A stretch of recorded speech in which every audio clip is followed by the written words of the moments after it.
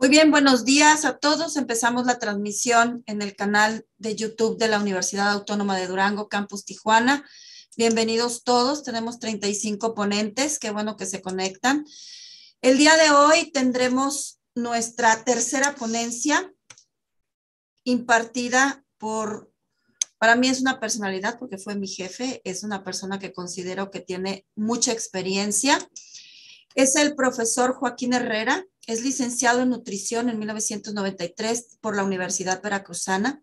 Tiene maestría en nutrición en 1998 por la UABC, diplomado en suplementación nutricional por la Universidad de Montreal. Fue docente en la Ibero, UABC, UNEA, VM en maestría en nutrición clínica. Docente de CETIS de diplomados en nutrición básica, nutrición clínica desde 1998 docente en nutrición clínica en la Facultad de Medicina de Xochicalco desde 2008, docente en la Facultad de Nutrición de Xochicalco desde 2014, director de la Facultad de Nutrición de Xochicalco desde 2016, nutriólogo del IMSS desde 1995, una gran experiencia clínica, capacitador en suplementos nutricionales para corporativo Amway desde 2010 al 2014. Entonces tenemos una personalidad, maestro, le damos la cordial bienvenida muy agradecida de que haya aceptado esta invitación. Le cedo la palabra. Bienvenido sea. No se escucha. Ya está. Listo. Gracias, gracias maestra Marcela, gracias por la invitación. También un gusto este, volver a, a verla, tener contacto con usted. Esperemos también una, una buena colaboración académica, ¿no? Entre instituciones, por supuesto. Claro que sí. Bueno, eh, pues vamos a, tratar de optimizar el tiempo que tenemos para este tema. Eh, las, personas que a lo largo de mi trayectoria me conocen saben que, esta área de la nutrición, la, suplementación nutricional es, es, es algo que me, me, apasiona mucho, no es decir me gusta, sino ir más allá, es decir, que me apasiona hablar sobre suplementos nutricionales y, y prepararme en esto y si en un principio eh, mm, fue, ha, sido difícil este, defender este, este, tema de la nutrición, porque antes había que defenderlo, ahora es más de, tratar de convencer, de tratar de juntar evidencias que eh, justifiquen el, uso de suplementos nutricionales.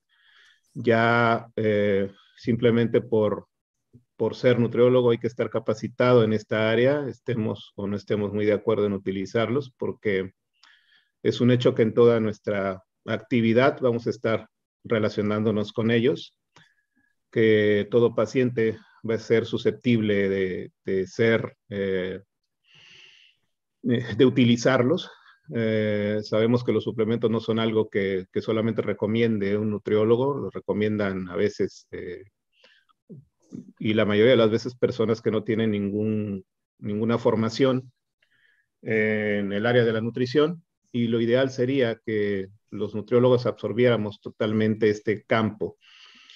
Y eh, es muy necesario, por lo que vemos y sabemos a diario, que, necesitamos mucha capacitación para poder hacer buenas recomendaciones eh, fundamentadas en, suplementos nutricionales.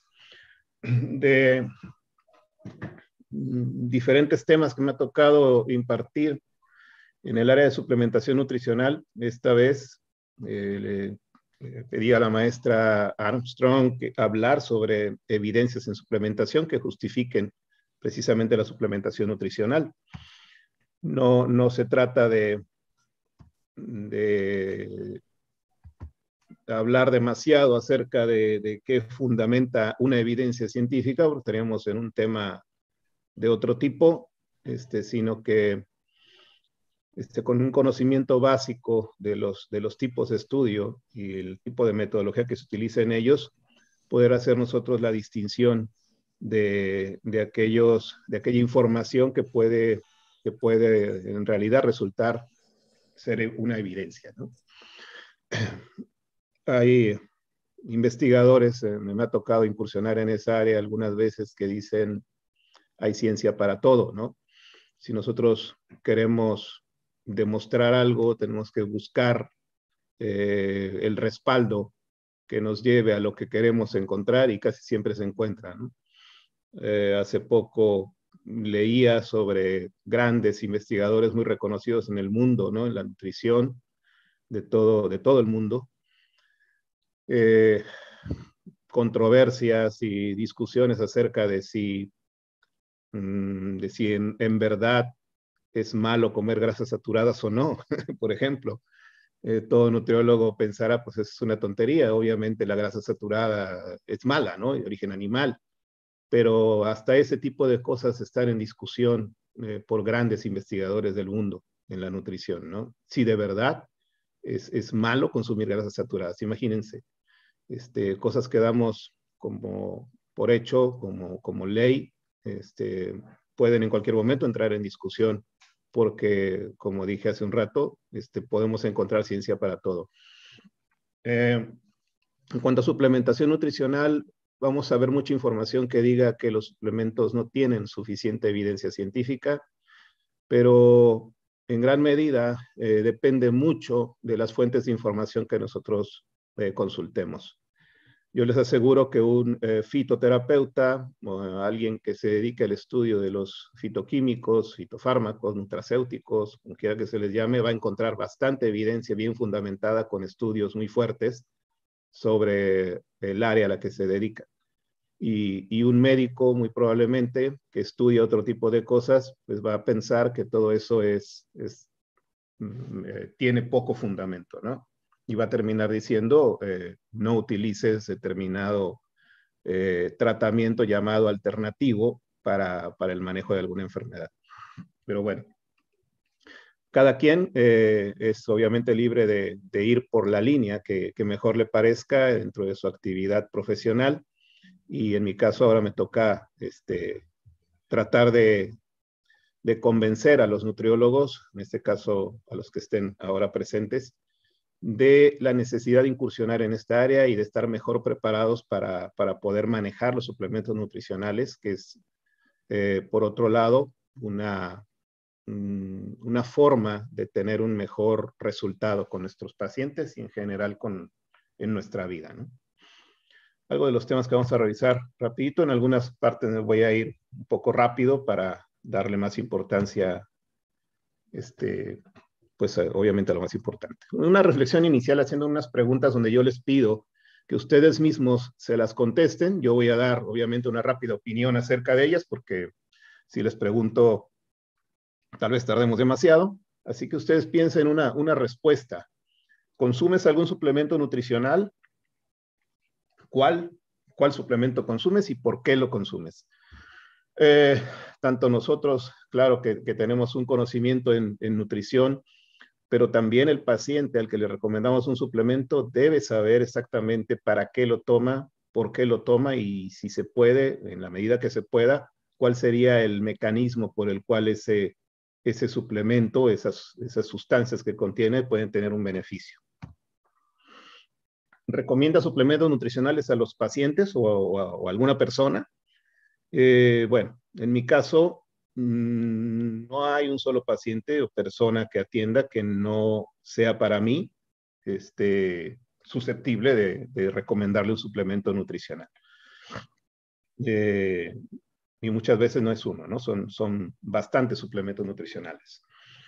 Cuando algunas personas han visto la cantidad de suplementos que, que yo consumo, este, me han preguntado si si tantas, tantas sustancias, tantas pastillas, cápsulas, polvos o lo que sea, no tendrán un efecto eh, adverso, negativo para mi salud, para, para mi hígado, luego me dicen, y así, ¿no?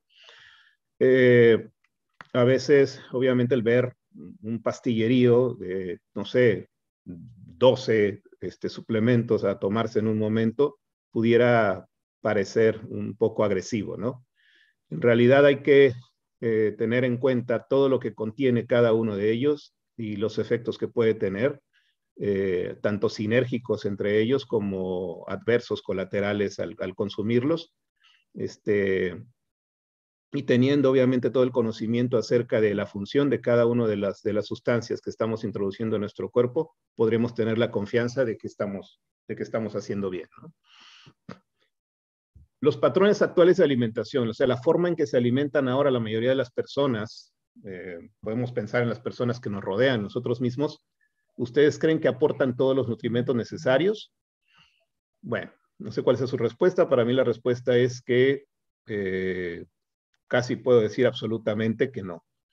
Eh, a la hora de preguntar cómo es la alimentación de las personas, y esto lo he preguntado en foros llenos de nutriólogos, este, ponencias que me ha tocado dar donde hay solo alumnos y maestros en el área de nutrición, les puedo decir que entre más se conoce de nutrición, más seguros estamos de que nuestra alimentación no es totalmente buena, ¿no? Algunas personas me han dicho, sí, yo me alimento muy bien y, y con mi alimentación este, consigo todo lo necesario. Y cuando entras más a detalle y preguntas, ok, ¿y tu requerimiento de zinc cuál es? ¿Cuál es el de selenio? ¿Cuál es el de este, vitamina C o tiamina, piroxina? Y ni siquiera lo sabemos y mucho menos sabemos cuál es el aporte que tiene cada uno de los nutrimentos que consumimos. Entonces, lo más que podemos hacer es tratar de acercarnos a una buena alimentación con nuestras decisiones y eh, también con la suplementación nutricional. Eh, yo les recomiendo no ver la suplementación nutricional como un complemento de la alimentación y tampoco ver la alimentación como un complemento de la suplementación nutricional. Son simplemente mm, vías para llegar al mismo objetivo, que es, eh, como viene en la última pregunta de esta reflexión, que el nutriólogo como fin último tiene eh, tratar de aportar los nutrimentos que una persona necesita y todas aquellas sustancias que se le permitan desde su formación profesional para el mejoramiento de la calidad de vida o las condiciones de salud de una persona. Es conveniente esperar a que las personas mejoren sus hábitos de alimentación para que reciban los beneficios de estar mejor nutridos, o sea, todos los nutrimentos que necesitan. Eh, nunca es conveniente esperar, ningún momento es bueno para esperar. Cada persona en todos los días de su vida tendría que recibir todos los nutrimentos que necesita. ¿La elección correcta de los alimentos garantiza la mejor nutrición? Bueno, vamos a tratar de explicar por qué no. ¿Considera riesgoso el uso de los suplementos? Lo riesgoso es no estar preparado para saber recomendar y utilizar suplementos nutricionales. Eso sí es un riesgo. Si se consideran que no están preparados para hacer una recomendación de un suplemento, es mejor que no la hagan y que, que precisamente busquen esa preparación. Hay sustancias, muchas, que no son suplementos, que no son nutrientes o, o, nutrimentos y que se clasifican en México y en el mundo como suplementos dietéticos o suplementos nutricionales. En realidad, los suplementos nutricionales no todos son nutrimentos como ustedes bien lo saben. Si hablamos de tres, podemos pensar en, cualquier planta que, se recomienda para un uso eh, preventivo terapéutico o en simplemente bichitos como los probióticos, que no son nutrimentos. La misma fibra estrictamente no es un nutrimento, este, por el hecho de que no cumple con las características de serlo, ni siquiera se absorbe. Entonces, hay muchas sustancias que tienen un beneficio que no son nutrimentos, que no son medicamentos, pero que están clasificados como suplementos nutricionales y obviamente son susceptibles de ser recomendadas por nutriólogos. ¿Cuál es la finalidad? Ya les decía, eh, tratar de que, de que todas las personas reciban los nutrimentos que necesitan. Hay muchas definiciones sobre suplementos, definiciones oficiales que al parecer entre más oficiales son, más, más mentiras encierran. Eh, por ejemplo, la de la COFEPRIS, la de la misma FDA, pues dicen cosas que, no aplican estrictamente a lo que significa un suplemento nutricional. Pero esta definición obtenida de la, de la ADA en Estados Unidos de productos que se añaden a la alimentación habitual para hacerla más completa en sustancias nutritivas o que representan un beneficio para la salud. Esto no solo abarca a los nutrientes, que pueden ser agregados, enriquecidos, fortalecidos, suplementados en un producto, sino también esas sustancias que al, sin ser nutritivas representan un beneficio. Bueno, en un resumen de los niveles de evidencia que establecen fuerza o a, la recomendación que se hace, o sea, grados de recomendación, podemos decir que los estudios nivel 1A, 1B, este, en, las, en las revisiones que se hacen de la evidencia científica son los que tienen la mayor fortaleza y, y, en los que tendríamos que confiar. Esto no quiere decir que estudios de nivel menor no puedan progresar o no estén este, poco a poco sustentándose cada vez más hasta, hasta hacer estudios más fuertes. ¿no? Entonces, eh, cuando, conforme avancemos ahorita en la plática, este, estableceremos los niveles de evidencia de cada una de los, de los suplementos revisados para que podamos tener la confianza del grado de recomendación.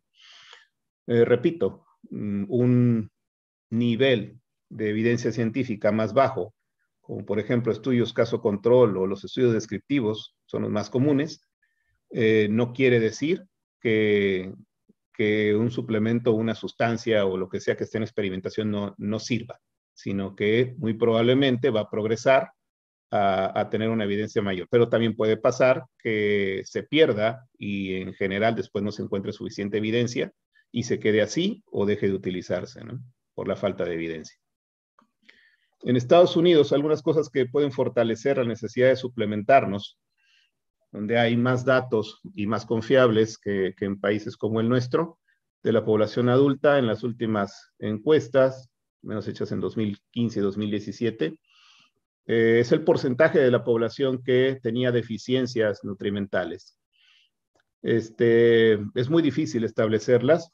Uh, veía hace unos días un estudio sobre cómo se cuantifica, eh, con qué instrumentos se llega a las conclusiones de que la población, a través de la evaluación de, persona a persona, se puede decir que no recibe suficientes nutrimentos en la alimentación, cuando los mecanismos de digestión, absorción en cada persona son diferentes y cuando es tan difícil evaluar de manera precisa el consumo de alimentos. Además, eh, en este tipo de encuestas no se analizan luego los suplementos nutricionales tampoco, ¿no? Entonces pudieran ser más engañosas. Pero si les hacemos caso, en los países donde están mm, mejor hechas, las deficiencias micronutrimentales son muy altas. Deficiencias nutrimentales documentadas en el mundo, vitamina A, hierro, zinc, yodo, entre las más comunes. Eh, sin embargo, obviamente sabemos que en países con eh, menos desarrollo económico, este, esas deficiencias pueden ser mucho mayores. Veía también un trabajo en la semana precisamente de deficiencias nutrimentales, micronutrimentales en niños en Europa. Y, son muchas y no tienen que ver con poder adquisitivo, ¿no? Tienen que ver simplemente con, con educación alimentaria, ¿no? Y elección de alimentos. Eh, es obvio que esos alimentos que consumimos en, no sé, en, regiones donde la, mm, la industria, eh, los, procesos de maduración, de aceleración de, de, de, la, vida natural del alimento no existen, los alimentos tienen otro, Mm, son diferentes, pues son diferentes en color, son diferentes en sabor, son diferentes en textura. Eh, y eso obviamente sería muy tonto pensar que no establece diferencias nutrimentales también en su composición química.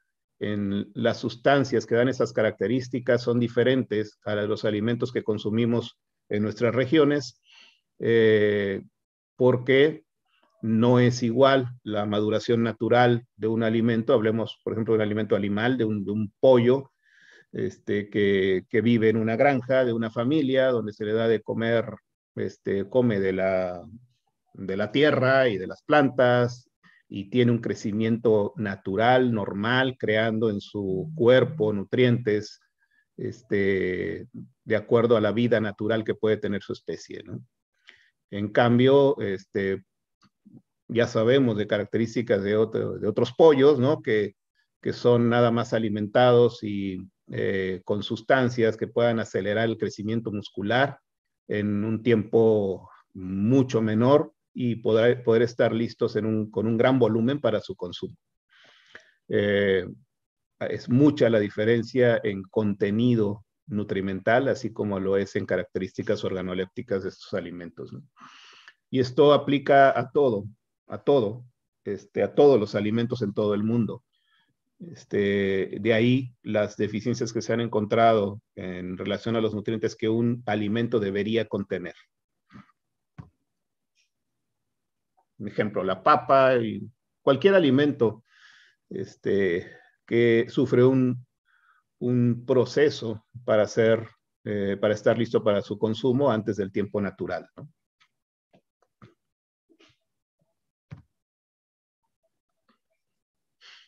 Esta forma de evidencia de las necesidades de suplementación clásicas en el mundo fueron estos datos en algunos países derivados de las deficiencias de nutrientes.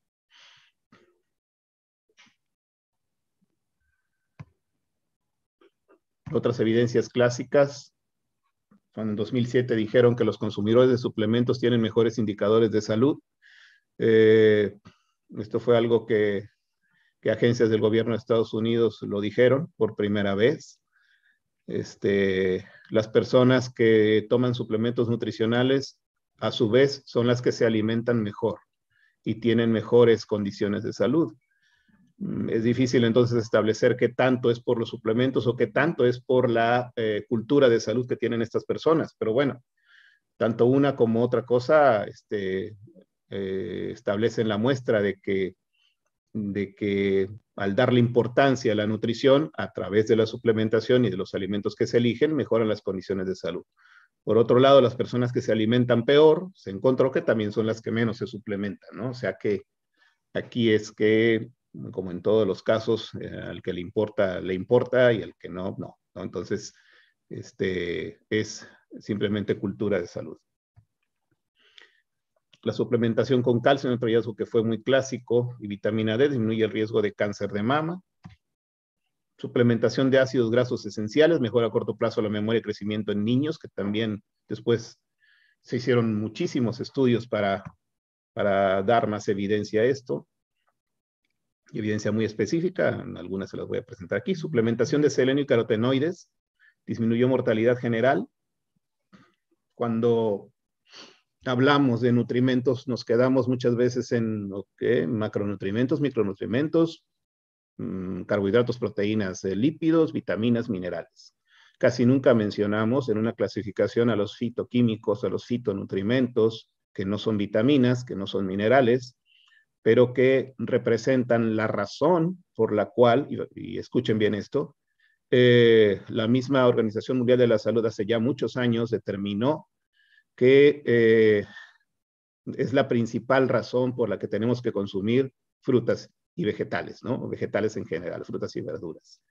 Eh, la presencia de sustancias químicas en ellos, los fitoquímicos, los fitonutrimentos, las vitaminas, los minerales, eh, en la mayoría de los casos pudieran encontrarse en otros alimentos. Los fitoquímicos no es posible y tienen que obtenerse de frutas y verduras.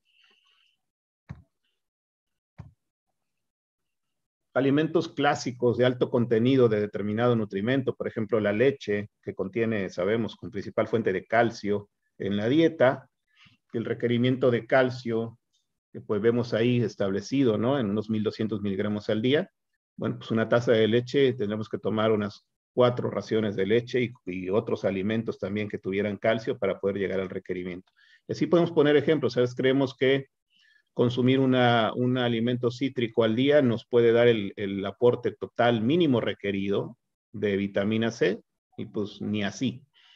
Ahora, el día que no consumimos algún cítrico, pues ese día seguramente no llegamos al, al requerimiento de vitamina C, por poner un ejemplo. Y eso puede pasar con muchos nutrimentos. Cuando me ha tocado analizar nutrimentos desde hace muchísimo tiempo, este, cuando estaba en la UABC, eh, teníamos un programa que nos daba números rojos en las deficiencias nutrimentales, amarillos en las preventivas y verdes en las que se cumplía con el requerimiento. Eh, había muchos números rojos en las personas cuando se evaluaba la dieta y eran personas con buen peso, hasta obesidad, este, lo, que, pues comprueba que el hecho de tener, de recibir mucha energía y muchos este, macronutrimentos, eh, al parecer nos aleja más de los micronutrimentos. Y no podemos decir que unos sean más importantes que otros por el hecho de, del tamaño. O de la cantidad en que se requieren.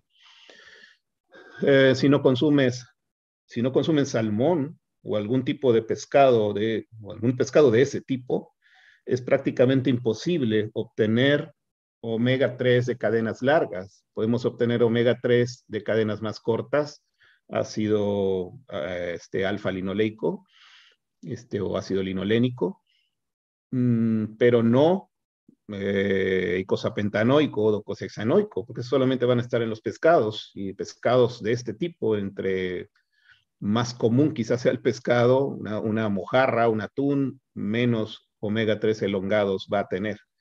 Entonces es muy difícil llegar a los requerimientos de estos ácidos grasos, si no es que podemos asegurar que es imposible. Eh, la fibra también es un nutrimento con el que clásicamente no llegamos a requerimientos. En fin, podemos revisar muchísimos. Esta es una información que sacó la OMS hace, creo que fue en el 2010 o antes, no, no puse la fuente, pero por ahí. Eh, todas las dos primeras columnas donde selecciona enfermedades crónicas del adulto, mm, así es tal y como ellos lo pusieron, y los factores nutricionales relacionados también son exactamente como ellos lo pusieron. Lo que es de mi cosecha ya son algunos suplementos recomendados precisamente para tratar de cumplir con, estas, con estos factores nutricionales relacionados. Eh, una persona que tiene una dieta elevada en grasa saturada, trans o colesterol, eh, está favoreciendo una cardiopatía. Una persona que tiene una baja ingesta de antioxidantes, pues favorece todas, si se dan cuenta que la baja ingesta de antioxidantes es lo que condiciona el único factor prevalente en todas estas principales enfermedades del adulto. Aquí está baja ingesta de antioxidantes, baja ingesta de antioxidantes, baja ingesta de antioxidantes, frutas y vegetales, en todas está. Por eso la OMS insiste en que come frutas y verduras. Otras eh, recomendaciones para objetivos generales de salud para todos en el año 2020, 2030 y ahora, objetivos nutricionales en niños. Todos estos objetivos nutricionales, la idea es alcanzarlos a través de recomendaciones nutricionales, ¿no? Este, pero al establecer nutrimentos involucrados en el cumplimiento de esas recomendaciones, vemos cómo evaluamos la dieta de las personas y quedamos cortos en muchos de ellos. La suplementación sugerida, los suplementos recomendados, es una forma nada más de llegar a esos objetivos. ¿Cómo sabemos que un, suplemento nutricional eh, es bueno? O sea, ¿cómo, ¿cómo distinguir entre diferentes suplementos nutricionales? Muy pocos son certificados. En México eh, son pocos. Los sellos más comunes que podemos encontrar, más reconocidos, son el NSF y, los sellos de buenas prácticas de manufactura. Eh, pero les repito, muy pocos los tienen. Habría que confiar mucho también en las declaraciones que se hacen en las etiquetas para poder evaluarlos mejor. Eh, las, empresas que se dedican a evaluar suplementos, una de las más reconocidas en el mundo, Consumer Lab, eh, hacen pruebas, revisiones de productos, seleccionan productos eh, que son más comunes en las farmacias, hacen investigador en, la opinión que tienen los consumidores acerca de los productos y luego ya hacen las pruebas en ellos. Un ejemplo de un, en un multivitamínico mineral, un multimineral, después de, de seleccionar el producto en el mercado, se hacen los métodos de prueba, que es evaluar la presencia y cantidad de los elementos declarados, que de verdad cada tableta contenga lo que ahí dice y lo tenga en una, en una forma activa, análisis de metales pesados y, mm, componentes que se tienen que declarar por ley, cómo se desintegran los productos, este, cuál es el comportamiento que tienen en el proceso de digestión y absorción. Así se han encontrado por ejemplo, esta empresa, diferentes advertencias en, marcas eh, a lo largo de, la historia. O sea, pueden, nosotros podemos encontrar una marca si tiene advertencias a lo largo de en un histórico, ¿no? o, warnings, se llaman en Estados Unidos. Esta marca, por ejemplo, Garden Life, es una marca reconocida por ser de, características orgánicas, eh, por comercializar suplementos orgánicos, pero aún así, a pesar de ser muy reconocida, este, tiene bastantes advertencias, como podemos ver aquí, ¿no? Eh, muchas veces una, el, hecho de tratar de ser demasiado natural pone en riesgo la, la presencia de algunos contaminantes en los suplementos. Eh, es como cuando nos podemos a pensar este, si será mejor consumir ácidos grasos omega 3 encapsulados o, o comer más pescado, ¿no? Y aunque es bueno comer pescado, porque aparte tiene otros nutrimentos, corremos más el riesgo de la contaminación del pescado por mercurio que en un suplemento donde se extrae el, pescado y ha sido retirado todo el mercurio, ¿no? Y, metales pesados que pudiera haber. Una referencia de un buen suplemento es, por ejemplo, este suplemento de ajo. Cumple con toda la legislación de etiquetado.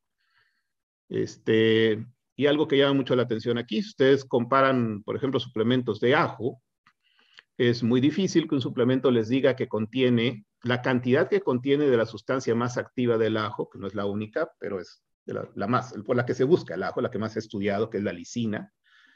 Este, contiene 6 miligramos de alicina en la cantidad declarada. 6, perdón, 6, miligramos, sí, 600 este, miligramos que pesa la tableta, pero tiene 6 miligramos de alicina. Con esto podemos estar seguros de que sabes exactamente la cantidad de la sustancia activa que vas a aportar a un paciente o a tu cuerpo en la cantidad que estás consumiendo. Eh, muchos suplementos de ajo no te dicen esto, nada más te dicen polvo de ajo, tal cantidad, y tú no puedes saber exactamente qué tan, qué tan estandarizado está. Ahora nos vamos al otro extremo, este es un suplemento eh, que puedes encontrar ahí en internet. O sea, beneficios maravillosos, recomendaciones muy vagas, este, contenidos nutrimentales increíbles y hasta mal clasificados. Las vitaminas que están ahí, esa MSM no creo que sea una vitamina, no sé qué será metilsulfonil metano, probablemente. Aminoácidos, no todo lo que está ahí son aminoácidos, repite el ácido aspartico con aspartato otra vez aquí, que es lo mismo, en fin. Y los minerales, antocianina no es un mineral y es antocianina, no antocianina, en fin. Y este suplemento lo encuentran ahí en el mercado. Y es impresionante que una onza de esto tenga el equivalente a comer obviamente no, no contiene la cebolla, sino me imagino que se refieren a, los ciertos nutrimentos de 34 cebollas, 100 naranjas, 814 arándanos, no 815, no, son 814 en una onza. En fin, cosas que hasta dan risa, ¿no? Es fácil eh, distinguir entre un suplemento que tiene respaldo científico, que tiene, que trabaja o que genera los productos a través de la información científica. Estas son algunas marcas conocidas y se puede decir buenas marcas. Garden of Light, a pesar de todas sus advertencias dentro de eh, las marcas orgánicas, es reconocida. Y pueden ver algunas, algunas son, son económicas, ¿no? No son necesariamente tan caras. Por si alguna les suena, pues normalmente son marcas bien evaluadas en parámetros de calidad. Kirkland de Costco, por ejemplo, es el casi siempre gana como la mejor marca a nivel mundial en suplementos no orgánicos, porque aparte de sus buenas prácticas de manufactura, eh, el precio que, que da sus productos es muy bueno, es, es este, muy competitivo. Este señor dijo que preservar la salud y tratar enfermedades administrando la cantidad óptima de moléculas que son necesarias para el organismo, este, o sea, hay que tratar de dar la cantidad óptima, pero que cada organismo, también lo dijo, tiene necesidades diferentes, determinadas por muchos factores, ¿no? Ambientales, eh, fenotipo, genotipo, en fin. Las ah, oficinas eh, de Estados Unidos que se dedican a los suplementos nutricionales nos pueden proporcionar mucha información eh, muy confiable o muy, muy científica y de mucho consenso, ¿no? Y los invito a que pues se suscriban a estas, este tipo de información gratuita. Me gustó dentro de ellos cómo clasifican los suplementos, tipos de suplementos nutricionales, micronutrientes, macronutrientes, herbales o botánicos, fitoquímicos, zooquímicos, porque no todos son de origen vegetal, y otros que no entran en las, en las distintas clasificaciones. Si ustedes buscan una clasificación de suplementos nutricionales, van a batallar mucho. Es muy difícil clasificarlos y, esta puede ser una buena clasificación y, oficial además. Esta oficina pues se encarga de estudiar a fondo y presentar información sobre suplementos nutricionales en Estados Unidos. Y arroja datos muy interesantes, ¿no? Prevalencia de, algún suplemento nutricional de de cómo está el, uso de suplementos nutricionales, en este caso en Estados Unidos. Voy a saltar algunas. Las mujeres en el embarazo son de las poblaciones que más recurren a los suplementos, pero por, eh, razones obvias, ¿no? Pero cuando la mujer no está embarazada, pues disminuye mucho este, su suplementación. Prevalencia en el uso de suplementos por, por eh, etnia o raza, pues vemos que la población hispana y y, este, y de color no, pues son los que menos suplementos toman. En Estados Unidos un tercio de los niños utiliza algún suplemento, el más utilizado es un multivitamínico multimineral. En, México no hay datos sobre esto. Este, ya en, eh, como ven ustedes, características por edad y raza, México-americanos, México hispánicos, no hispánicos negros, son los que menos. Los, los que más, si ven aquí, los asiáticos. Las personas que tienen obesidad, en el caso de los niños, entre más obesidad hay, menos suplementos consumen, curiosamente. Niños, entre más estén frente a pantallas, entre más tiempo pasen frente a pantallas, menos suplementos consumen también. Seguramente menos alimentos saludables también de la población mayor de 19 años, aproximadamente el 50% consume este, algún suplemento nutricional. Aquí vamos por edad sexo. Las mujeres más que los hombres. Por raza. Mexicanos menos. Por nivel educativo, mayor nivel educativo, mayor consumo de suplementos en fin, muchos datos interesantes. Eh, por, por índice de masa corporal también, aquí lo vemos. Hay, eh, incluyendo incluso personas desnutridas. Venta de suplementos en el mundo, entre más pasa el tiempo, cada vez se venden más suplementos, se comercializan más, y sobre todo en países más desarrollados, ¿no? Entre mejor son los resultados en salud de un país, este, coincide con la mayor, el mayor consumo de suplementos nutricionales también en su población. Los que más se venden, multivitaminas. Y aquí en pastel, ¿no? Ahí vemos las multivitaminas. Bueno, algunas evidencias en suplementos en especial. Ah, hay muchísimos y hay mucha evidencia para algunos, es menos para otros. Ustedes ven en el mercado y pueden darse cuenta de cuántos suplementos hay eh, y se pueden preguntar, ¿esto para qué es? ¿no? Y cada vez salen más, van a alguna tienda común donde los vendan y, se pueden este, volver locos viendo tanta cosa que hay este, de suplementos nutricionales y pensar, pues, que como nutriólogos tendremos que saber para qué sirve cada una de esas cosas. Eh, no nos podemos quedar nosotros como nutriólogos en, ok, contiene este, ese ajo y sirve para esto. No, como vimos hace rato, no es el ajo en sí lo que hay que saber que, tiene una función, es, son las sustancias activas del ajo, los componentes bioactivos de cada planta, de cada este, té, de cada hierba, este, tenemos que conocerlos, o sea, para, para poder saber el mecanismo por el cual tiene un beneficio para la salud, o si de verdad lo tiene, ¿no? Es, esto es bastante complejo, créanme, muy complejo. Este, por ejemplo, la, la equinacia, que se vende mucho para modular el sistema inmunológico, si la equinacia no es extraída de las partes donde se encuentran los principios activos en la hoja, en el tallo, en la raíz, y es la variedad adecuada de equinácea, este, pues puede ser equinácea y extraída de lugares donde no se encuentran los principios activos y sigue siendo equinácea, ¿no? Entonces, un buen suplemento te dice qué variedad de equinácea es y de qué parte de la equinácea fue extraída las sustancias activas y cuáles son las que contiene y si las contiene en cantidad adecuada. Pero eso, ¿cómo lo podemos evaluar si ni siquiera lo sabemos, no? Desde ahí la necesidad de prepararnos en esto, ¿no? Sabemos de la vitamina D, hallazgos clásicos de su eh, necesidad de suplementación en, en, problemas de osteoporosis, pero ahorita sabemos de que la vitamina D se utiliza para un montón de cosas, ¿no? Por ejemplo, se ha relacionado en términos más generales, eh, y esto le, fue un hallazgo también muy, muy interesante acerca de las, de las funciones de la vitamina D, como eh, disminución de la, eh, este, del riesgo de, mortalidad por todos los casos principales, ¿no? Enfermedad cardiovascular, cáncer y otras causas.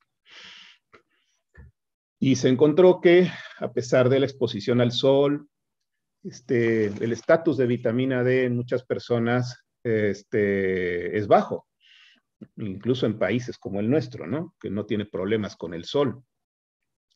Eh, ahora que, que, salió lo de COVID-19, me tocó participar en algunos congresos que me invitaron para hablar de suplementación nutricional ante COVID.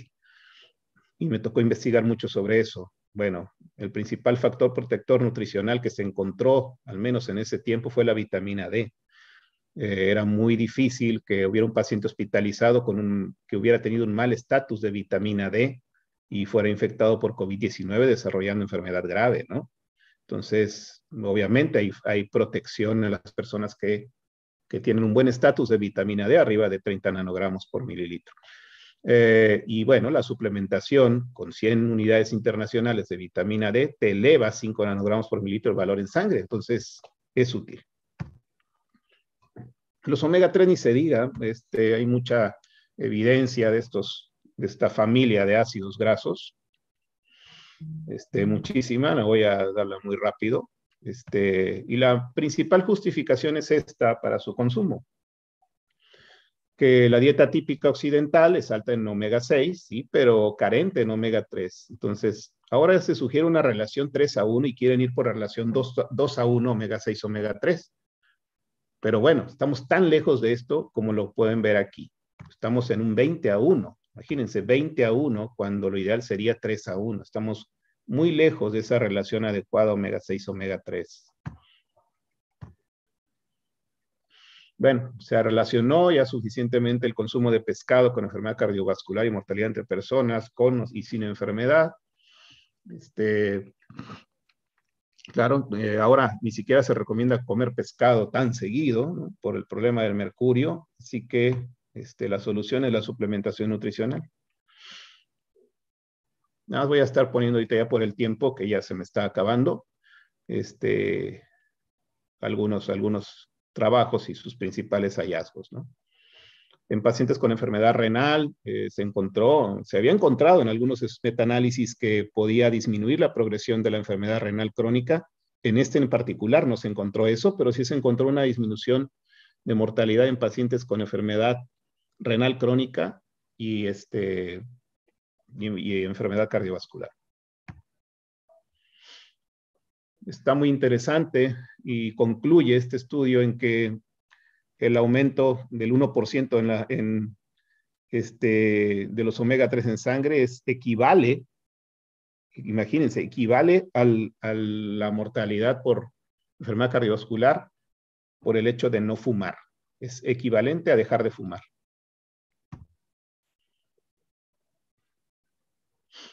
Otra vez, omega 3 y mortalidad en una población bastante grande, un estudio este, clásico y más o menos reciente. Las ingestas más altas de pescado y omega 3 se asociaron significativamente con una menor mortalidad, con unas diferencias significativas, como pueden ver. Al comparar la ingesta más alta con la más baja de pescado, una disminución de 9% en mortalidad total en hombres este, y en varias enfermedades como pueden ver ahí, incluso cáncer.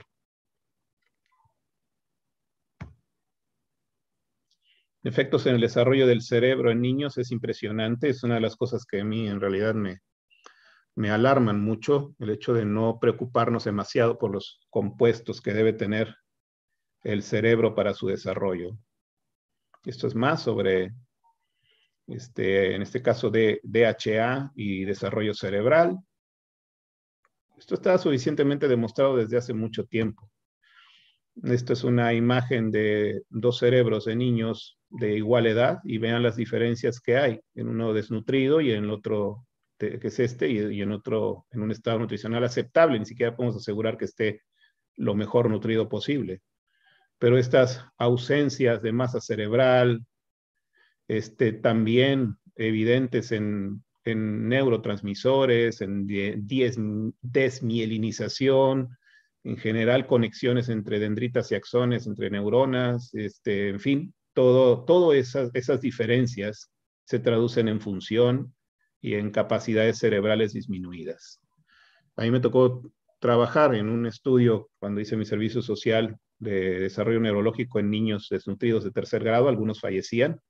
Me tocaba analizar biopsias de tejido cerebral de estos niños y era una diferencia impresionante, la misma que se veía en las tomografías. Y su desempeño neurológico a través de tamizaje neurológico, pruebas neurológicas, pues, era abrumadoramente diferente a lo que tenía que ser para la edad.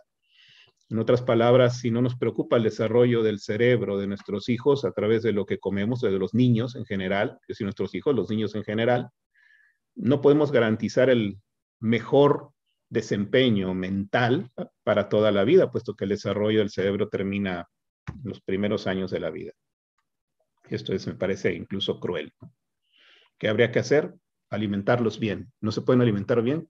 Ayúdate con la suplementación, que es el mensaje.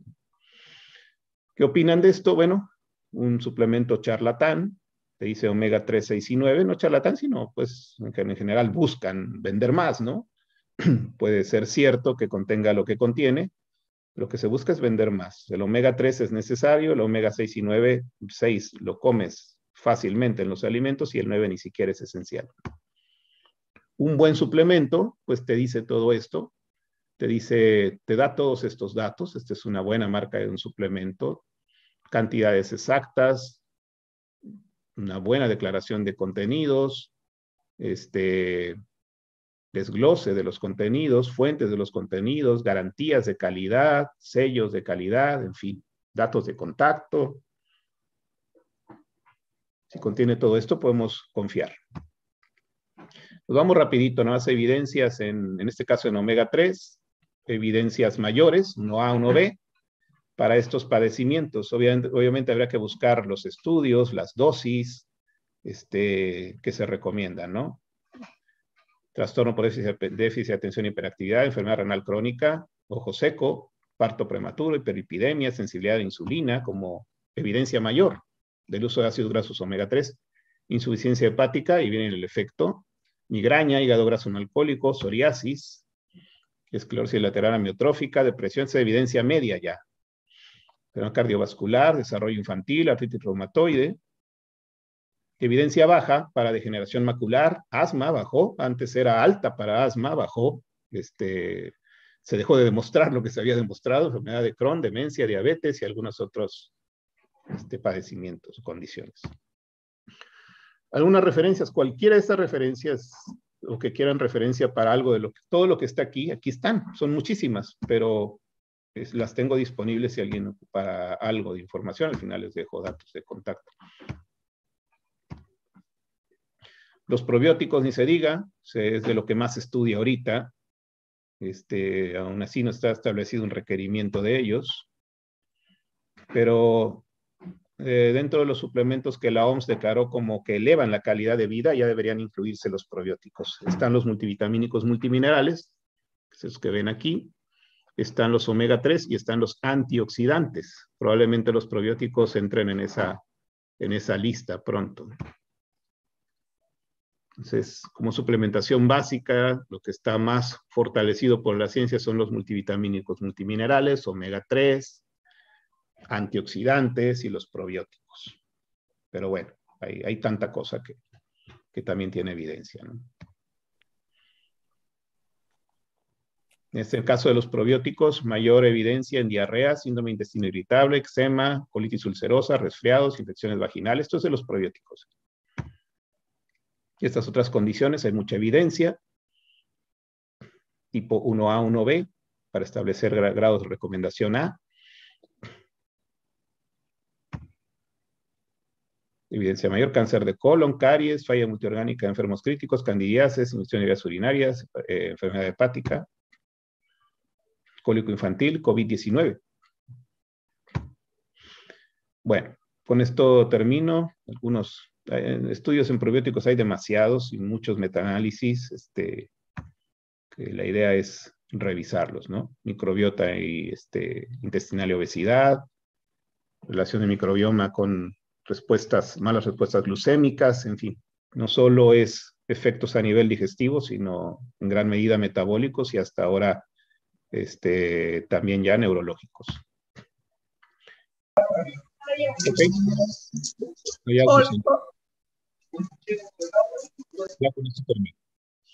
Este, bueno, esto es modulación de la detoxificación, esto que luego hablamos de intoxicación y detoxificación como algo así medio de sustancias en los alimentos que tienen efecto en las vías de detoxificación.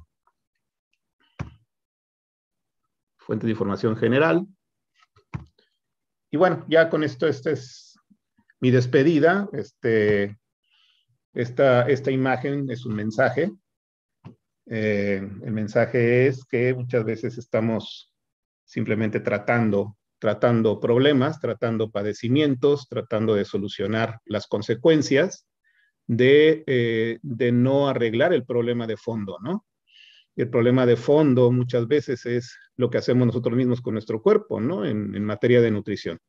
Los tenemos nosotros, les aseguro, como nutriólogo, la carrera perfecta para prevenir los problemas de salud y no estar nada más arreglando las consecuencias, ¿no?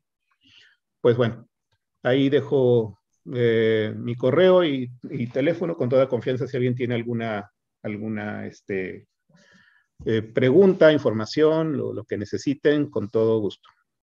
Muchas pues, gracias, maestro. Fabulosa esta ponencia. Tenemos a Marta que tiene una pregunta. Adelante, Marta. Ah, licenciado, antes que nada yo quisiera darle las gracias por compartir toda su, su conocimiento con nosotros. Este, tengo muchas preguntas. Este, la primera, pues, bueno, la, creo que le, voy a hacer solamente tres, las más importantes que considero.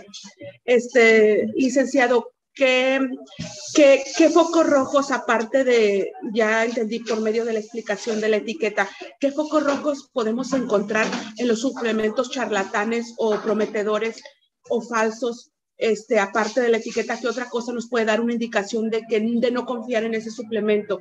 La segunda pregunta, doctor, este licenciado, es, este, en, cuestión, yo sé que es muy diferente y es muy difícil dar una sugerencia de hombre a mujer y depende de la edad, pero en cuestión de una mujer, ¿cuáles son los suplementos que no deberían de faltar en nuestro, en nuestro counter, en nuestro, en nuestro botiquín de suplementos? Y, la, y la tercera, ah, Doctor, este, ¿cuál es el problema más grande en, los, en relación a los suplementos? Muchas gracias por su respuesta. Ok. Mm, bueno, eh, si me voy de atrás, de atrás para adelante, eh, en, la, mujer, en la mujer hay que pensar no, no como, como una un organismo que funcione diferente al, del hombre, ¿no? Más que nada es la etapa de la vida, la condición fisiológica, que, la, que en la mujer puede ser diferente al, del hombre. Eh, en cualquier persona, incluso niños, es recomendable asegurar primero con un multivitamínico multimineral. Esto es lo principal, lo que les, les comenté, esos tres suplementos básicos por, por la evidencia que hay sobre, sobre su necesidad, ácidos grasos omega 3 y los antioxidantes. Eh, los antioxidantes no solo se tienen que aportar en el adulto, en el, niño, hay que empezar a, entender de que los fitoquímicos de los vegetales, y no solo los vegetales, también en animales hay sustancias químicas eh, más allá de las vitaminas, minerales y macronutrientes que tienen muchos beneficios. Entonces, yo a mis hijos les doy, por, poner un ejemplo, eh, todo eso, además de probióticos.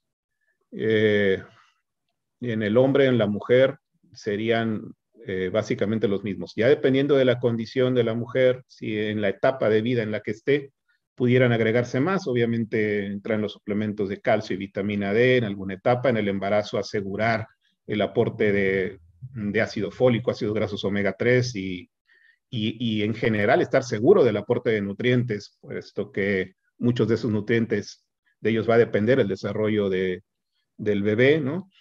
este, las condiciones donde hay pérdidas eh, por, por, eh, por, menstruación, por ejemplo, asegurarse de que se recuperen nutrimentos que, que, que, involucren la formación de células sanguíneas, ¿no? Luego pensamos en el hierro, pero no, luego no solamente es el hierro.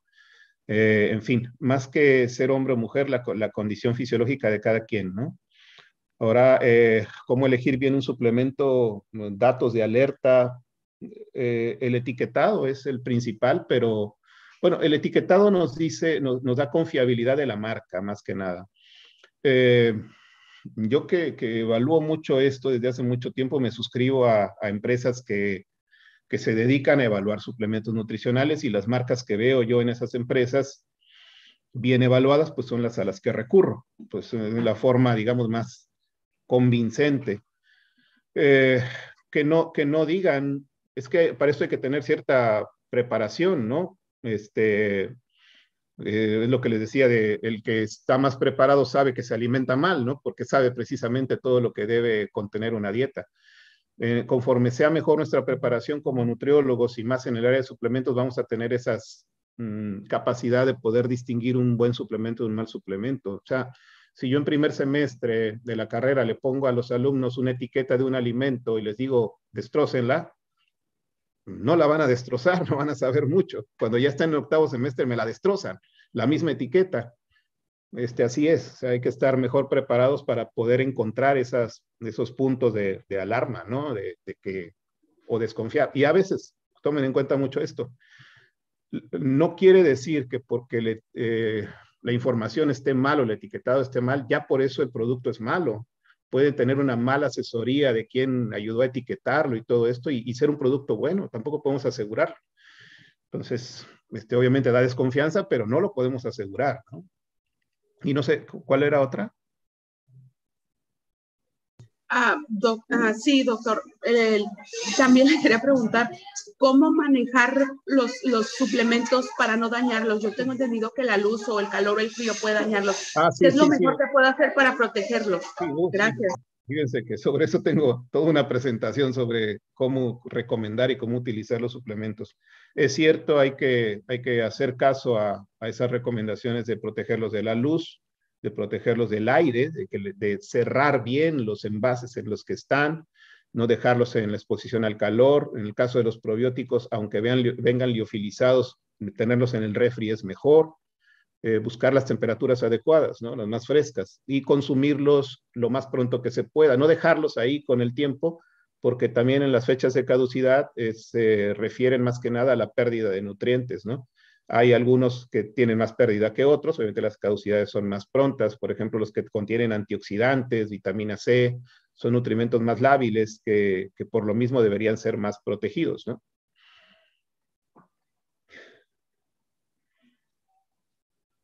¿Alguna otra pregunta por Tenemos otra pregunta. Eh, dice eh, Melissa Buelna que si nos recomienda algún diplomado o cómo podemos prepararnos sobre este tema y da las gracias por esta ponencia. Eh, gracias. Eh, pues yo primero tomé un curso de suplementación y luego un diplomado en suplementación y estoy tratando de tomar algún máster, algo así en suplementación, pero mucho es lo que nosotros hagamos primero por nuestra cuenta, ¿no? O sea, la información ahí está. Eh, creo que por mi cuenta, antes de entrar a, a, tener una justificación o algo que me respalde en el tema, este, era más lo que yo podía hacer por mi cuenta. Mm, aquí en Tijuana, de manera presencial, que yo sepa, no hay, no hay más que a veces algunas en suplementos en deportistas, que por cierto no es mi área. la suplementación deportiva mm, no me, no me meto mucho yo en eso. Se me hace un tema algo muy diferente, ¿no? Eh, sí, sí he pensado crear un programa eh, para CETIS Universidad, que es donde he dado diplomados clásicamente este, en suplementación nutricional. Sí, sí estoy en eso, de hacer un programa para dar un diplomado, aunque sea un curso, un seminario, lo que sea, en suplementación en esa, en esa universidad. Igual y este, pudiera funcionar en alguna otra, pero este, aquí presencialmente creo que no hay. Eh, donde yo lo estudié fue en el Instituto Zambite, avalado por la Universidad Montrer de Morelia, Michoacán, y, el Instituto Zambite está en Guadalajara, Jalisco. Ellos son muy derivados de el Instituto de Medicina Funcional de los Estados Unidos, el cual me encanta, pues toda la información que ellos sacan. Y el, el diplomado me pareció muy bueno, diplomado en línea. Este, quien esté interesado, si quieren, me pueden mandar un mensaje y les dejé, bueno, les había puesto mi teléfono, si no lo copiaron, pues ahorita se los doy, este, para darles la información. Sí lo recomiendo mucho, pero sí es cierto que en ese diplomado convendría primero tomar el curso que ellos mismos ofrecen porque mm, si se meten en cosas luego muy avanzadas que a veces no se pueden aprovechar tanto, pero sí te, te mandan mucha información y, te, y es lo que hay, ¿no? Así que no hay muchos.